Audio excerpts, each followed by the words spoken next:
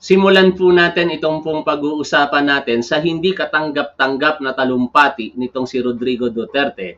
And I'm sorry kung, kung uh, muli ko po sa inyong ipapanood po ito kasi this is directly related doon po sa ating re-reaction na, na latest video ng ating Pangulong Bongbong Marcos. Sa video po na ito, bahagi po ito ng talumpati nitong si Rodrigo Duterte doon po sa Devil Rally sa noong uh, January 28, 2024 diyan po sa City of Davao. At dito minura po nitong si Rodrigo Duterte at sinabihan pa ng bangag at adik ang ating Pangulong Bongbong Marcos to the extent na kanya pa po itong pinagbantaan kung siya po ay nasa pwesto pa raw. O pakinggan po ninyo ang nakakabwisit na talumpati na ito ni Rodrigo Duterte mga tol.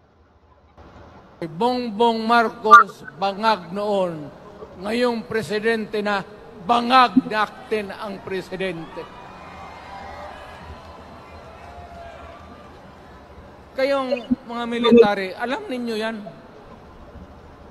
Lalo na yung nasa Malacanang. Alam ninyo. The Armed Forces of the Philippines, alam ninyo. May drug addict tayo na presidente. Putang inang yan. Ayun ang bakit ako nagkaroon ng kaso ng ICC. Sabi nila, pinapagpatay ko raw yung mga drug user at drug addict. Mabutit na lang, wala na ako sa pwesto. Nagbanta pa, di ba? Talaga nga naman, ano? Ngayon, yung mga salita na yan ni Rodrigo Duterte, nagpapakita lamang na yan na talagang may katotohanan ang pagpapapatay niya noon sa mga pinagbibintangan lamang nila na mga associated sa dangerous drugs. At dahil po dyan, kulang-kulang sa 30,000 Pilipino ang napatay ayon po sa Human Rights Watch Group.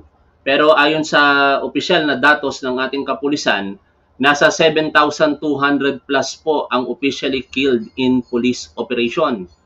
At going back dito po sa mga walang kwentang pinagsasasabi ng tinawag ni Nino Barsaga na kanyang sinusuportahan na si Rodrigo Duterte, ang tawag niya rito ay gago, matandang hukluban, at kung ano-ano pa.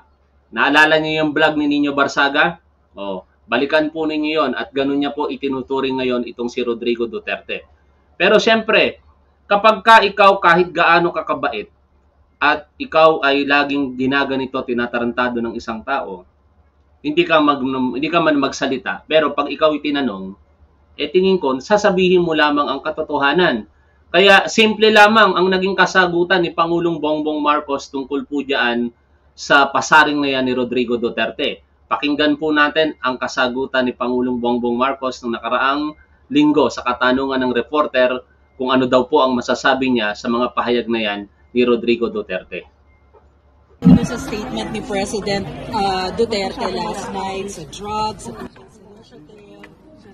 and urging you to de- to resign. Sa camera lang. I think it's the fentanyl. Uh, fentanyl is the strongest painkiller that you can buy. It is highly addictive and it has a very serious uh, side effects. And PRRD has been taking the drug for a very long time now. When was the last time he, he told us that he was taking fentanyl? Mga five, six years ago? Something like that. After five, six years, it has to affect uh, uh, yun, kaya alagay ko, kaya nagkakaganyan. Napakamahinahon ng pagsasalita ni Pangulong Bongbong Marcos. Manifestasyon na siya po ay sane, maayos ang pag-iisip. Eh, on the other hand, itong si Rodrigo Duterte, alam niyo naman ang karakteristik ng isang drug addict, di ba?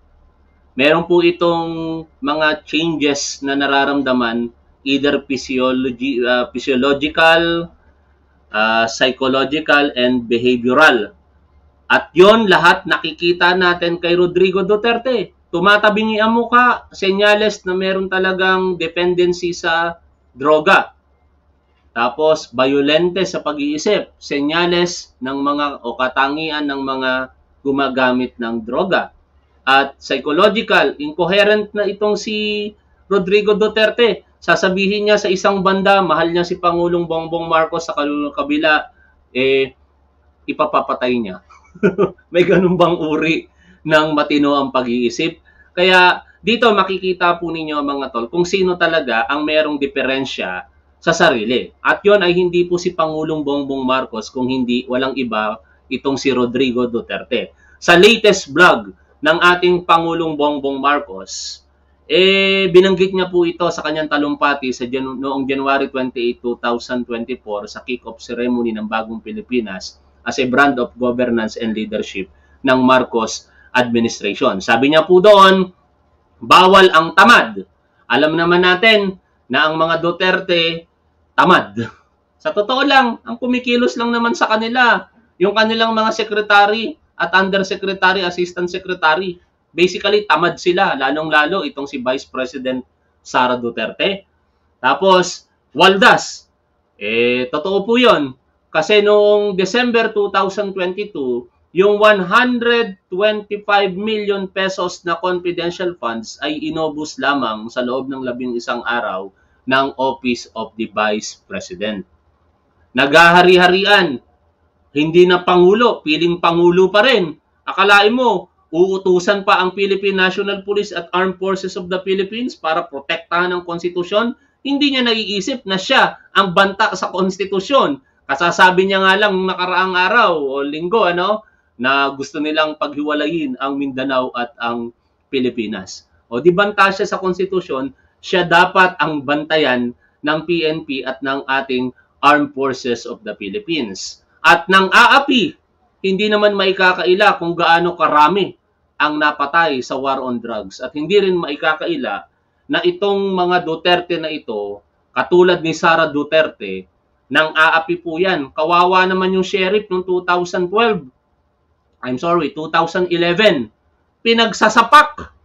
Basag ang mukha ng sheriff. Tingnan nyo kung anong gawain meron itong mga Duterte na ito. Ngayon, panoorin natin in particular ang vlog ng ating Pangulong Bongbong Marcos. Inedit ko na po ito, uploaded ito sa aking TikTok account. Tinanggal ko na po yung mga hindi nagsasalita si Pangulo. ay inilunsad natin ang bagong Pilipinas. Nakakataba naman ng puso na makita ang ating mga kababayan na nakikiisa sa panawagan ito. Ito ay panawagan para sa kolektibong kilos tungo sa pagbabago ng ating pag-iisip, pananalita at gawa. Bagong Pilipinas is addressed to all government officials and employees and citizens of this country.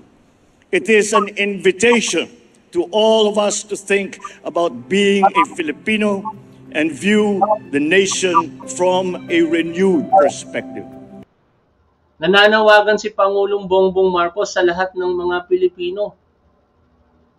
At ano ang ginagawa nitong mga Duterte at ng mga utu-utong mga followers nito?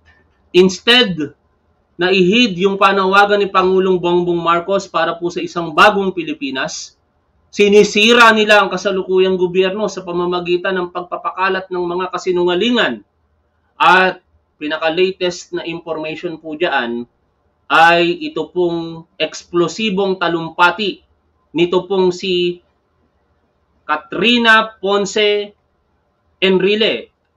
Is it Catherine or Katrina? Oh, siya po yung anak nito pong si Presidential Chief Legal Counsel Juan Ponce Enrile.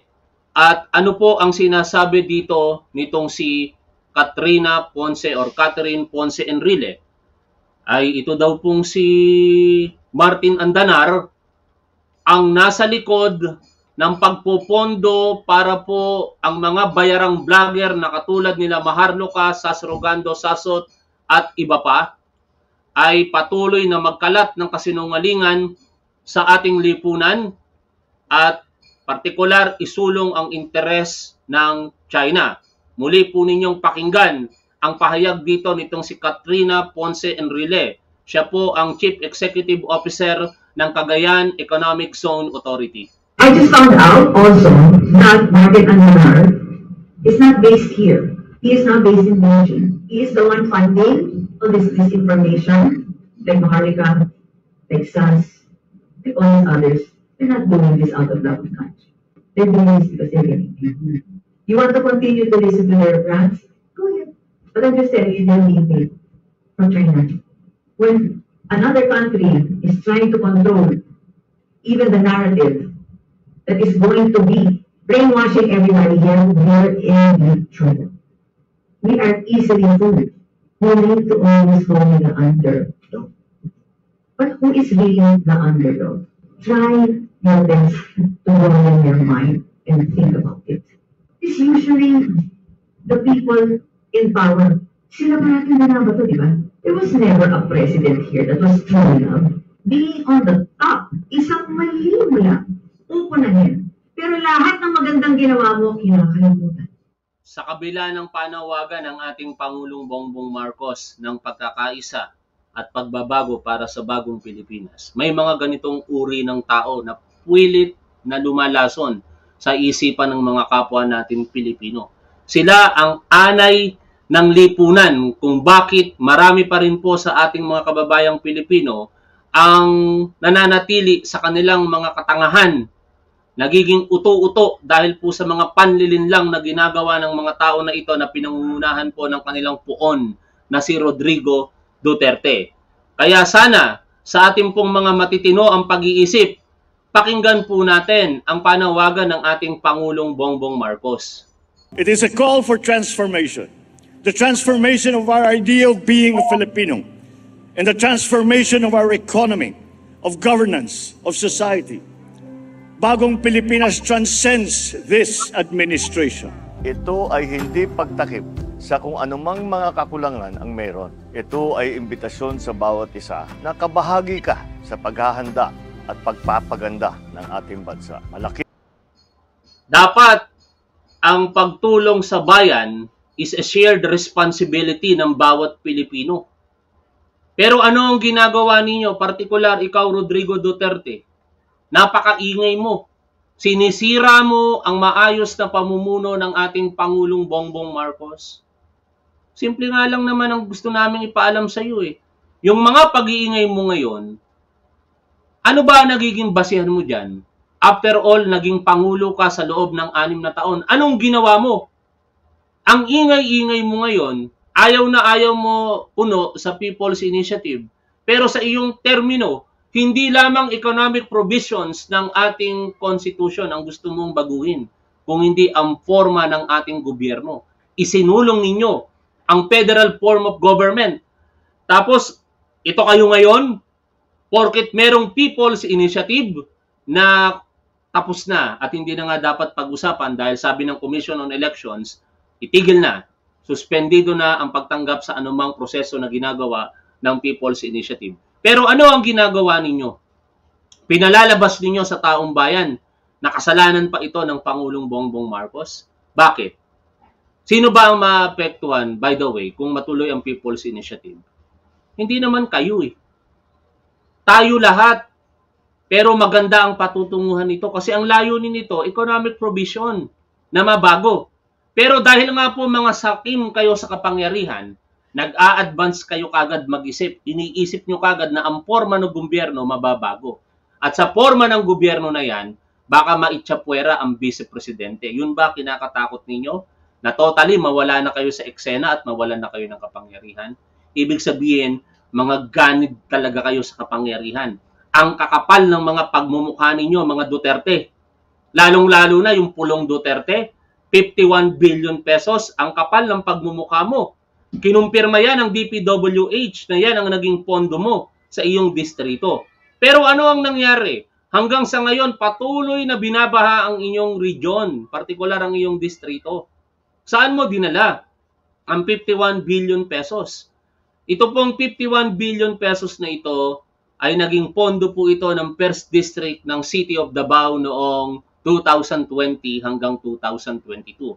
Originally, the proposal for the National Expenditure Program allotted to the First District of Legislative or the, or the First Legislative District of Davao City ay naglalaro lamang sa 3 billion Pero napakalaking halaga pa rin ito hanggang 10 billion pesos. Sacred cow na nga kung tawagin yon. Bakit?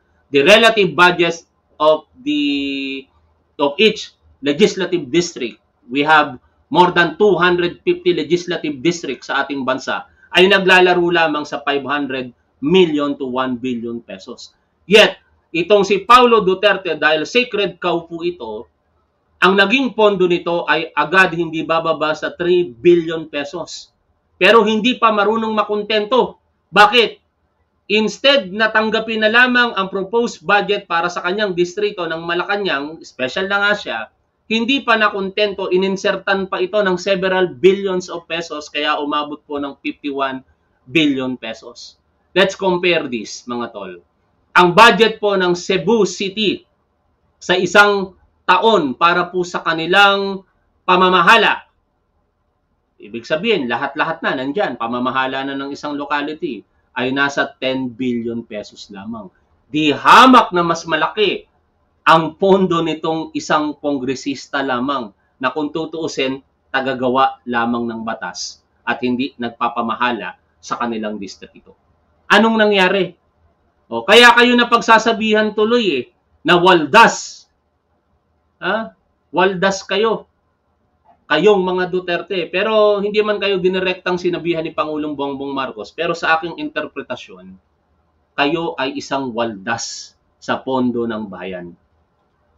Ang inyong maitutulong, mahalaga ang inyong ginagawa. Ang disiplina, pagiging mahusay at magaling sa kanyang-kanyang larangan, at pagmamahal sa bayan. Ito ang mga sangkap ng isang makabagong Pilipino na ating isinusulong. Ngunit hindi lang ito ang mensahe ng bagong Pilipinas. Binibigyan din dito ang kalagahan ng maayos na trabaho mula sa amin sa pamahalaan. Sa bagong Pilipinas, Ang tanong, maayos ba sa pagtatrabaho itong mga Duterte?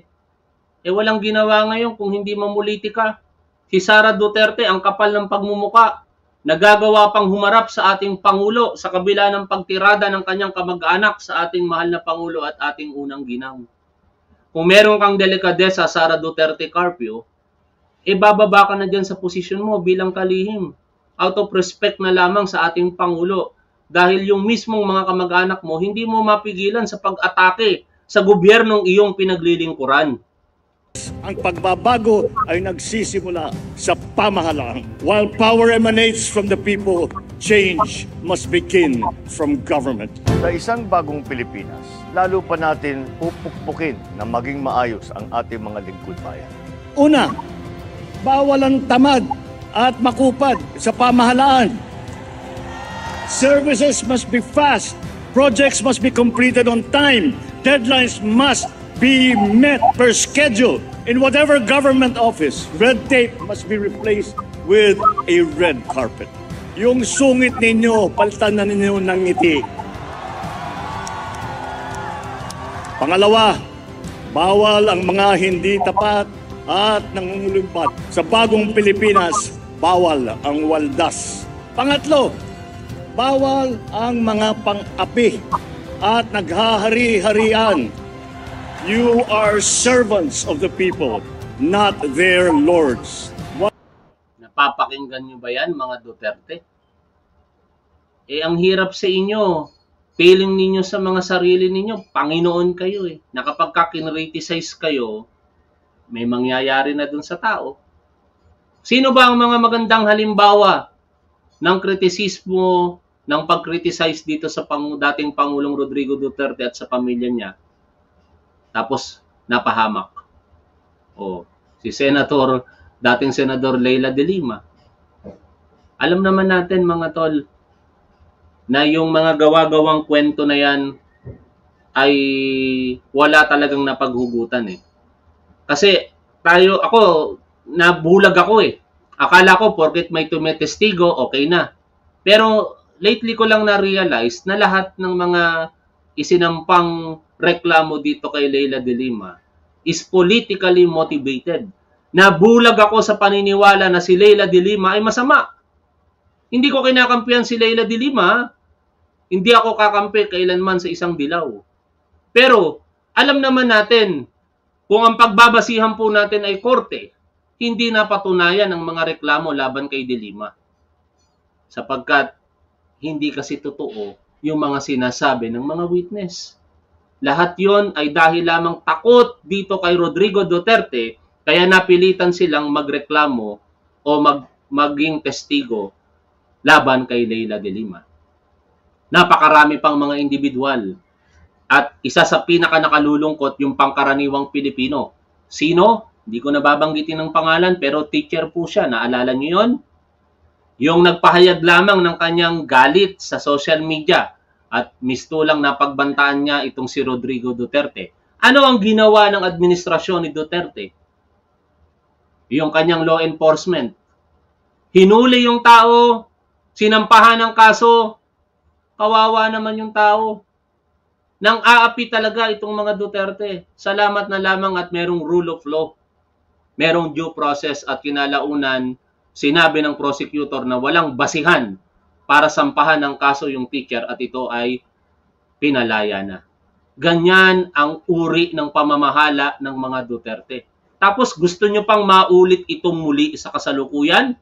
Sa maagang panahon ng panunungkulan ng ating Pangulong Bongbong Marcos, gusto nyo silang patalsikin? At ipalit itong si Sara Duterte na isang waldas sa loob lamang ng labing isang araw, ubos ng kanyang opisina ang 125 million pesos. Huwag nating pahirapan ng taong bayan. Tapos na ang panahon ng pagkukuyakoy sa loob ng mga tanggapan ng gobyerno. Ang tagumpay ng panawagan na ito ay nakasalalay sa ating pagkakaisa. Sa isang bagong Pilipinas, walang puwang ang mga paninira at paghahatakang pababa. Unahin natin ang ating bayan. Magbago na tayo dahil walang bagong Pilipinas kung walang bagong Pilipinas. Sa bagong Pilipinas, may pag-asa ang lahat. Ang pag-asa ng bayan ay nasa ating lahat. Mabuhay ang bawat Pilipino. Mabuhay ang Pilipinas. Mabuhay ang bagong Pilipinas! Mabuhay ah, ang Pangulo ng Pilipinas at magbago na kayo mga Duterte. Ah, kakapal ng mga pagmumukha ninyo, mga waldas tamad, nagaharian at nang aapi kayo.